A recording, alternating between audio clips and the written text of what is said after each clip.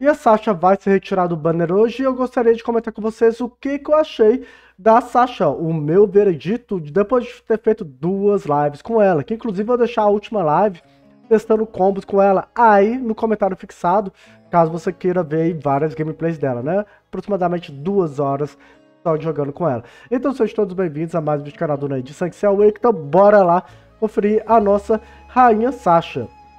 Então, vou deixar apresentar primeiramente aqui a minha Sasha para vocês, como que ficou a versão final dela. Lembrando que o outro vídeo da Sasha que eu apresentei aqui no canal era... Acabei de ligar o computador, o computador ainda tá aprendendo a respirar, né? Ele ainda tá começando aqui, mas bora lá que a gente tem que trabalhar. No caso aqui, a minha Sasha, ela ficou 5-5-3-3, beleza? Build de treinamento, peguei meu último skill lá para economizar dois livros, e aí upei aí para cinco livros. É, o vídeo de evocações vou deixar nos carros, mas eu peguei ela bem baratinha, tá? No total, eu, como sempre, né, eu faço aí o vídeo pegando o SS com mais de 350 gemas, lá eu mostro os cálculos para vocês também no vídeo de sumos dela, além de deixar também a review, caso fique alguma dúvida, que eu só não vou mostrar como é que ela funciona aqui, mas dicas, counters, essas coisas, vai estar na review dela, e também jogo com ela tudo 1 e 3, 3, 1, esses três vídeos da Sasha, deixarei nos cards, tá? Caso você queira mais informações para ela, é a primeira vez que está vendo comentando sobre ela. Então, é, essa skill aqui, só 5-5, galera não tem condições. Joguei com ela 1 aqui, com a skill 3 aqui, nessas duas primeiras. Não tem condições, somente 5-5. Essa aqui é opcional, tá?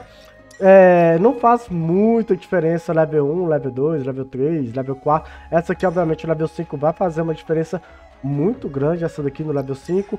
Aqui apenas aumento da, da redução de dano. Mas no geral eu vou usar cura, eu vou usar uma outra proteção. Então é uma proteção extra mas não é uma proteção tão grande assim. Não vai chegar a ser um Aldeba Divino, por exemplo, um Shion Sapuri. É uma proteção só para complementar. Eu tento não ficar dependendo dessa, é, dessa proteção aqui também. E a reflexão, como a gente está com meta de cura, é muito difícil ela ser mais efetiva. Mas quando a gente enfrenta aquelas comp que não tem cura, não tem proteção, às vezes o inimigo tá falecendo, não faleceu, tum, do nada, ele faleceu só com a reflexão da Sasha. Aconteceu isso uma vez em duas lives, né? Foram três horas jogando com ela e só eliminei, eu vi uma vez só alguém sendo eliminado pela reflexão, tá? Então aqui, como eu disse, é 5511 pelo menos, então 40 livros, caso você queira montar aí uma Sasha para sua conta. E aí, Ney, o que, que você achou dela? Ó, da hora os status dela, são da hora a speed dela é da hora, eu curti demais. O que eu mais curti da Sasha, para falar a verdade, é o tanto que ela explora a sua criatividade, é o tanto que ela explora a criação de combos para a sua conta, como ela faz alguns personagens que você fala, ah, vou testar esse combo aqui, ver se funciona. E às vezes funciona. Então todos os personagens que tem combo com ataque básico, dá para você testar aí com a Sasha, tá? É que o Yoga Dourado brilha demais. O Yoga Dourado é uma das melhores opções para jogar com a Sasha. Cara, a Sasha fica assim, uma delícia. Se você souber montar um combo com Yoga Dourado, ó, os melhores combos que eu testei foram Albafka. Cara, é muito nerf assim de ataque que você dá no inimigo de cura e também da Persephone, né? Persephone tanque e tal, vai aplicando a semente ali nos contra-ataques e tal. O Afrodite, galera hypou bastante, né? Até mesmo porque eu trouxe vídeo mostrando aí o duplo peixes. Eu achei mais ou menos. O Afrodite, ele tá um pouquinho cansado no meta e tal. E assim, logicamente, ele fica potencializando o ataque da Sasha. Então, a Sasha atacou, ele vai também soltar as rosinhas. Então, toda assistência, né? Todo mundo que tiver com duas estrelas ou mais, a Sasha vai aplicar o efeito. Então, qual Bafka? Qual Bafka vai dar lá dois venenos adicionais na rodada 1. Na rodada 2, deu ataque básico com a Sasha, tacou lá mais um veneno. Com a Persephone, tacou mais uma semente. Cara, tá vendo tanto de estratégia que a Sasha pode oferecer para sua conta? Isso aí é o mais legal que eu achei da Sasha, tá? Ela oferecer essas oportunidades de estratégia, ela pode virar debuff, ela pode virar também uma DPS, depois que ela começa a aplicar aí duas estrelas em todo mundo. Para facilitar isso, o Yoga Dourado é muito bom, mas também temos aí as opções de hipnos, né? Que fica ativando lá a confusão e tal. Se eu não me engano, ativa aí a, a estrelinha, né, o ponto meridiano. E também temos a opção do esconder. Se tiver um time onde todos os ataques básicos serão interessantes, você esconde a Sasha, rodada 1, rodada 2, a galera vai ser obrigada a atacar outros aliados, que aí já vem o problema da Sasha. É, você colocar personagem que tem um ataque básico flopadíssimo, eles vão focar nele. Isso é o Shuemien, Shiosapuri, Taori, e a galera foca mesmo. E por isso que a Sasha ela tem que estimular a sua criatividade, né? Senão é, você vai deixar alguns chamarizos. Pode ser estrategicamente, ah, eu vou fazer um time que todo mundo vai atacar o Shami Beleza. Pode fazer. Mas também pode flopar, e é difícil, tá? Montar um time assim que é, você gostaria que outros brilhassem, mas você vai ficar atacando o Shumi, uma Saori. E se você não esconder a Sasha, a galera vai atacar a Sasha. Isso aí é muito chato também, a Sasha fica dando ataque básico. Porém, tem mais um combo também. Já quando você começar a colocar dois pontos a, ou mais em alguém, no seu time, os inimigos vão ficar com medo de atacar a Sasha, porque o contra-ataque dela ativa o contra-ataque de todo mundo que tem duas ou mais estrelinhas também, né? Pontos meridianos. E fica um ataque básico bem forte também, dependendo da sua composição. Tá vendo? Como ela estimula a criatividade? Isso aí é o que eu mais gostei da Sasha. E com certeza para mim é uma personagem bem da hora, mas é uma personagem genérica, não é uma personagem que vai rodar em qualquer comp, então ela vai depender de algumas comps específicas, não é somente jogar a Sasha numa comp que ela vai brilhar, não funciona assim, a Sasha ela tem essa dependência de combinhos, tá sacando? Para ela ser mais efetiva. Se os seus combos são ruins, então a Sasha vai ser ruim. Se os seus combos são mais legais, seus combos, quer dizer, a sua gameplay com a Sasha vai ser mais legal. Você tem que estar tá com isso em mente. Se você está achando sua Sasha ruim, é porque você criou combos ruins com ela. Simples assim. O método tá bem interessante com ela, tá? Tem uns combos muito fortes. Então vocês podem conferir a live completinha aí. Vocês vão ver umas mitadas. Eu vou fazer alguns cortes também durante os próximos dias da Sasha. Então, a minha Sasha é Mono Speed, porque... Nem Mono Speed é, né? Mas é porque eu não tenho código duplo speed pra pôr nela ainda. Então ela ficou com isso daqui um pouquinho de roubo de vida, porque a reflexão, se não me engano, ativa aí, né? Um roubo de vida dela também. Fada, porque eu, eu, fiz uma live temática da Sasha. Eu queria a Sasha em todas as comps. E aí não tinha todas as comps, não tinha fada, então eu coloquei fada nela.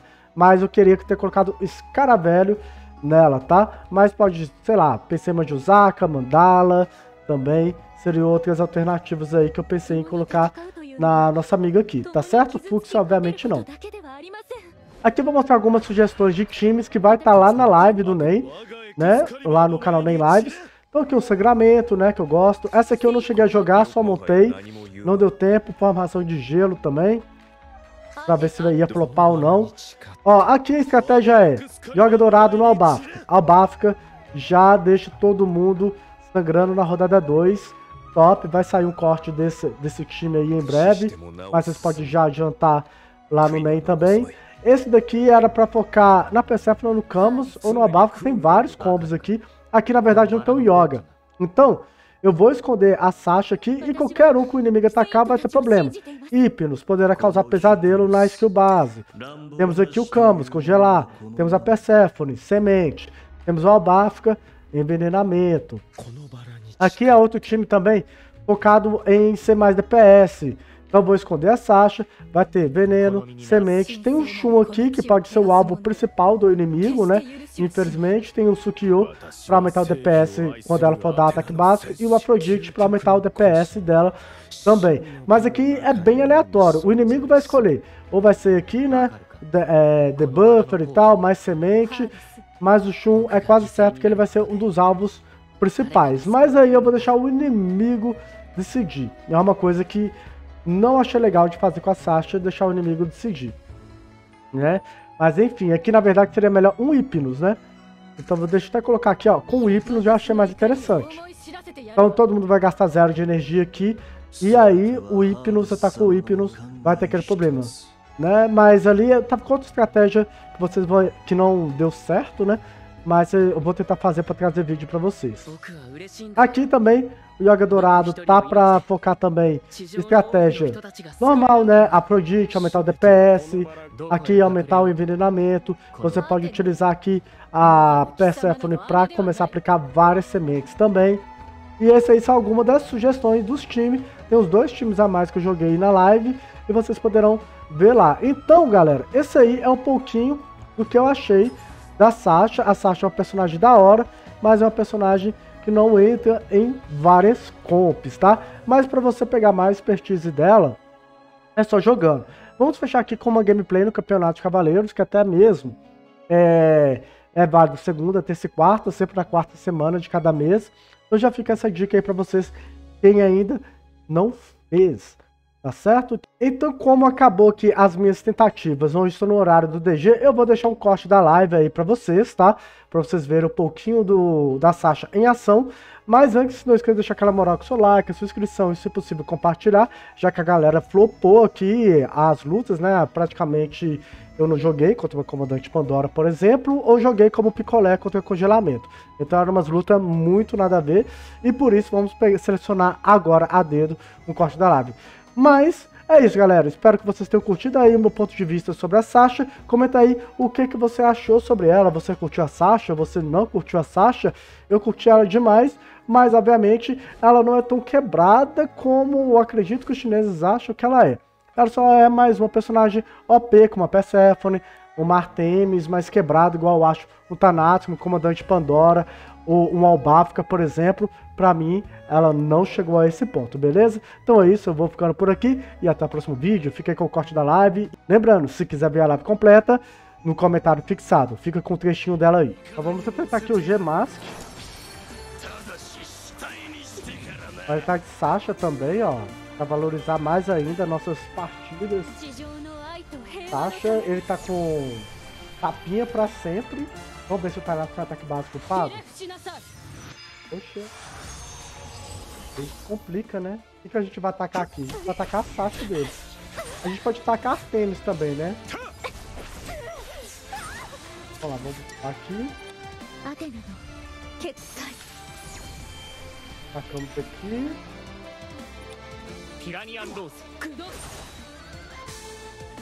O problema é que o Sukio vai eliminar minha Sasha, né?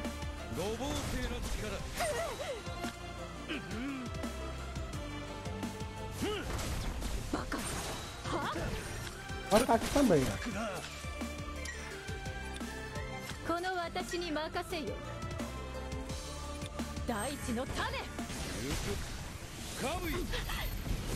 O que, que ele quiser atacar aqui, ele tá ferrado.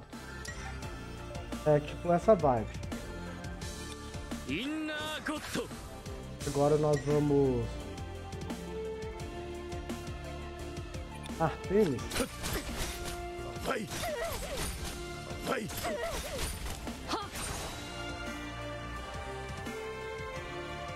Respondeu aí, agora a gente vai na Sasha.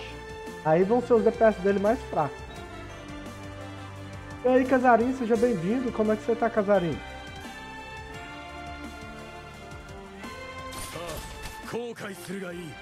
ainda tem uma lona ainda, né, velho? Mas também a gente tá aqui com a nossa...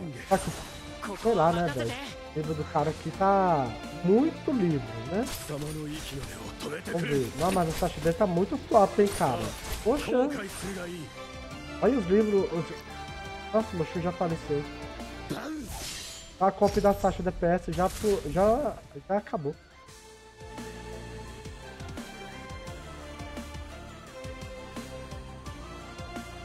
Ela deu uma flopada no combo. E aí, André, a Sasha, ela é um pouco, ela é quase aquilo tudo que eu esperava. Mas jogar com ela para funcionar legal não é tão simples quanto a gente imagina. Mas é legal, é legal, eu curti. Aqui.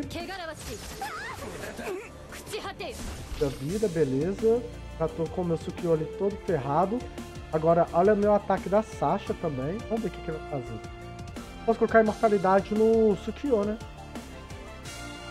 É mesmo, vou colocar imortalidade no Sukiyo.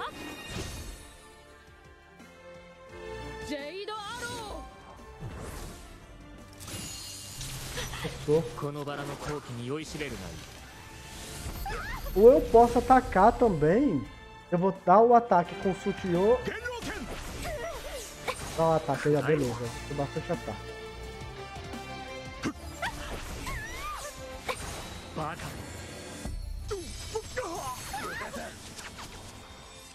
Deixa eu pensar. É, vou ter que dar imortalidade pro Sultan, porque não tem muita outra coisa pra fazer. Não tem muita coisa pra fazer. Ó, oh, ataquei o cano, atacar tá, tá o cano não, é atacado a arte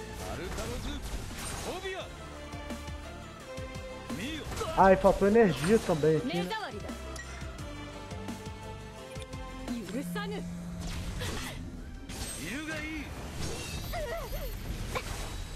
Então aqui a gente já vai tentar finalizar com a Sasha.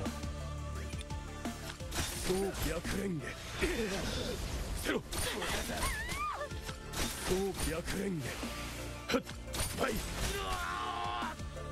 ok. A gente vai ter um sutiô com PV mínimo, tipo a Sasha, né? Ataque só sutiô. Ótimo, o sutiô vai devolver o ataque também. O sutiô. Toma. Ah, sem assistência, né? Oh, que viagem. Já para de atacar, né, cara? Nossa, isso aqui ficou bem roubado, né? É, a deixar ele vivo e a Sasha é imortal. Mas enfim, ela já vai ficar... Ela já vai... Olha isso. Ó.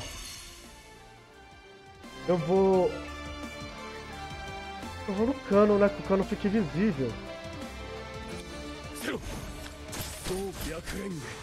Beleza, agora será que eu consigo vencer ainda? Acho que consigo vencer, hein?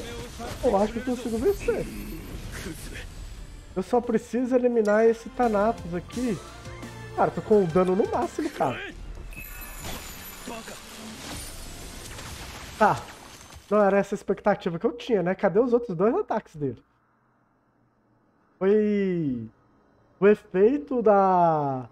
Como é que fala? Da imunidade foi resolvido primeiro. Ah, pô, velho. Aí foi sacanagem, foi sacanagem. A gente tava todo feliz, velho.